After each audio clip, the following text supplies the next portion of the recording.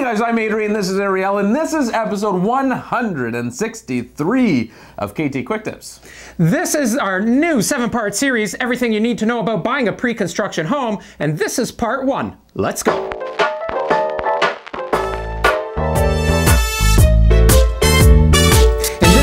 Going to talk about a lot of things, but the first thing that you should know about is the risk that's involved with buying a pre construction home. If you've been paying attention to the news recently, you will have read and heard a ton of news articles about home buyers that bought pre construction one or two years ago.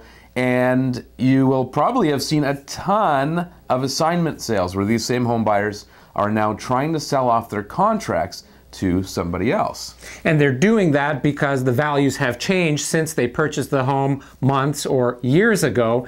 And more specifically, now they might not be able to sell their existing home for as much as they had anticipated, meaning they can't afford to close on their new home. That's right. And just as the stock market goes up and down when you buy a pre construction home, the real estate market does the same thing. It does fluctuate. So you're taking on the risk that when you close a year or maybe two years after purchasing it, the market may not be the same as it was when you bought and may not be what you had hoped.